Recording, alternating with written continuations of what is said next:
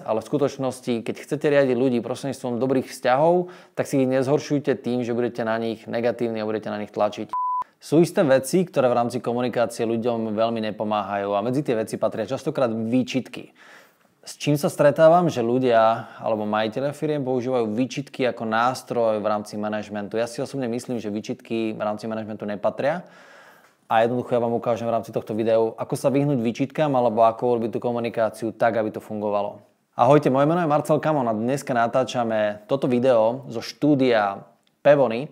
A jeden z tých dôvodov, prečo natáčame práve odtiaľ, to je kvôli tomu, lebo organizujeme Slovak Business Summit a mali sme tu dneska tému. A chcem vás pozvať zároveň týmto spôsobom na Slovak Business Summit.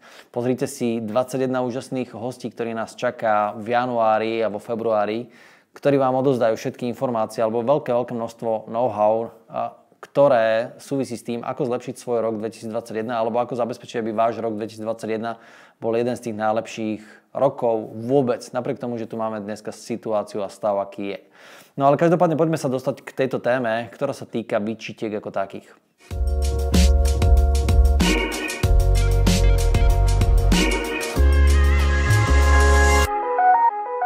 Prečo som vyťahol tému, že výčitky? Prečo má zmysel rozoberať tému výčitky? Pretože sa s nimi stretávam relatívne často a ľudia to považujú ako bežný nejaký doplnok v rámci komunikácie. Niekto chvíľu mešká, tak čo je to správne riešenie? No asi mu to vyčítať. Niekto neurobil nejakú úlohu, tak čo je správne riešenie? No vyčítať mu to.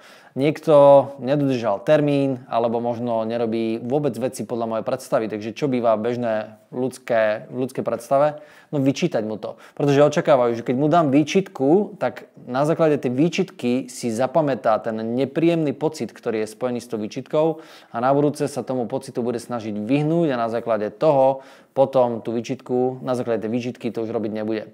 Ale neviem, či ste si to všimli len vy, alebo či som si to všimol len ja, ale v skutočnosti tie výčitky moc nefungujú. Mal som tento nástroj a ja v svojom portfóliu a ľudia mi chodili neskoro, ja som im to vyčítal a viete, čo sa začalo diať? Ľudia začali chodiť ešte neskôr, ešte neskôr a ešte neskôr.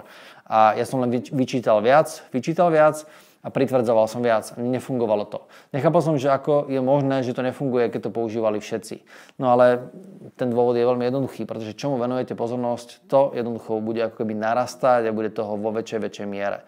Ináč povedané, tomu človeku som ukázal prostredníctvom vyčitiek, že toto nefunguje, chodí, ne, nechodí na čas, nerobí dobré veci a ja som tomu dával ako keby veľké množstvo pozornosti a toho človeka som usmerňoval do tých vecí, v čom nie je dobrý. A on ten človek začal si sám ako keby tú svoju pozornosť vzťahovať na to, že toto nerobím dobre, toto nerobím dobre, nechodím na čas. A začal mať pocit, že jednoducho veľa vecí okolo neho ako keby nefunguje dobrým spôsobom. A začal ich ako keby viacej opakovať, začal robiť rôzne typy chýb a ja som bol z toho viacej a viacej nervózny. Dobre, ako sa vyhnúť tomuto začarovanému kolu, ako sa vyhnúť tomu, že nebudeme musieť fungovať v rámci možno osobných vzťahov alebo v rámci firmy len prostredníctvom výčitek. To riešenie je veľmi jednoduché. Keď mi príde niekto neskoro, tak moja úloha nie je mu to vyčítať, ale možno moja úloha je napraviť to. Ako by som to mohol napraviť bez výčitiek? Je to veľmi jednoduchá záležitosť. Prídem za tým človekom a poviem mu, počúvaj, dneska sa stala taká záležitosť, že mali sme stretnutie o tej desiatej, len sme museli ako keby dlhšie čakať. Čo by sa dalo spraviť, prosím ťa, s tým, aby na budúce si ne, sme nemuseli vyslovene čakať tých 10 minút. Aké máme riešenia? Napadáte niečo? Ja viem, že si to neurobil na schvál, viem, že si to neurobil kvôli tomu, lebo si musel. Proste to nejak vyšlo, ja to neriešim, že to tak je. Proste nekarhám ťa za to v žiadnom prípade. To, čo potrebujem len vedieť, je, že ako by sme mohli zvládnuť tú situáciu do budúcna. A jednoducho namiesto toho, aby som sa zaujímal len o to, že ho idem karhať a hovoriť mu, urobil si zlú vec, a teraz všetci na teba čakali a teraz, keď to spravíš ešte raz, tak budem vyvádzať z toho konsekvencie. Som to len presmeroval na to, že som sa pýtal na možné existujúce riešenia. Ináč povedané, nesnažím sa tom človeku vyvolať negatívnu emóciu, práve naopak, snažím sa vyhnúť tej negatívnej emócii a snažím sa zabezpečiť, aby ten človek mi povedal, aké má možnosti, aké má riešenia a chcem mu asistovať pri riešení toho problému, lebo ja neviem, prečo meškal. Možno meškal, lebo musel, lebo meškal, možno kvôli tomu, lebo sa naozaj niečo dôležité stalo. Ja neviem, čo sa stalo a v zásade sa úprimne o to zaujímam a hľadám riešenia. A to je tá podstatná vec. Ak chcete sa vyhnúť nielenže výčitkám, ale ak chcete zabezpečiť, aby sa tie situácie akoby negatívne neopakovali, zaujímajte sa o riešenia. Ale nie takým tým spôsobom, že, že a čo mám teraz robiť? Ale tým spôsobom, že čo môžeme robiť? Reálne sa o to zaujímať, nepovedať to len ako nejakú prázdnu frázu a v skutočnosti sa nezaujímať, ale jednoducho úprimne sa zaujímať o to riešenie. A viete čo, vždy keď sa zaujímate o riešenie úprimným spôsobom, vždy nájdete nejaké riešenie, pretože to je taká komplikovaná vec. No čo môžem spraviť? Môžem skôr vstať, môžem spraviť to, že e, si naplánujem, ja neviem, dám si budík skôr. Ak mi to nejde, musím sa pozrieť ešte hlbšie a musím skôr ísť spať. Ja neviem, sú riešenia. Sú riešenia, ako za každým zabezpečiť, že ten človek nebude meškať, alebo prinesie produkciu, alebo urobí nejakú zmenu, ktorá môže zlepšiť ten daný stav. A to je moja rada. Ja viem, že to je možno jednoduchá vec, ale v skutočnosti, keď chcete riadiť ľudí prostredníctvom dobrých vzťahov, tak si ich nezhoršujte tým, že budete na nich negatívni a budete na nich tlačiť.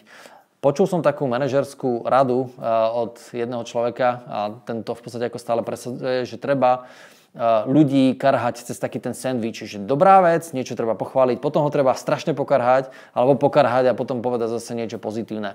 Ja si osobne myslím, že to je totálny nezmysel, pretože v skutočnosti tí ľudia, už keď počujú, že ich chválite, tak vedia, že potom budú potrestaní. A potom, že len niečo zažehnáte na konci, aby sa nepovedalo, že ste úplný debil. V skutočnosti toto nie je niečo, čo by som doporučoval a neriate takto svoj tým, lebo na konci dňa budete mať len okolo seba ľudí, ktorí sa pred, vás, pred vami budú veľmi pekne usmievať na vás, ale v skutočnosti za vašim chrbtom vám budú robiť niečo iné. Ak si chcete vych, vych, vychovať okolo seba ľudí, ktorí vás nenávidia, nepoznám lepšiu metódu, ako používať takýto sandvičový model, alebo niektorí už len ten sandvičový model rovno preskočia a idú rovno na to, že len dávajú kritiku.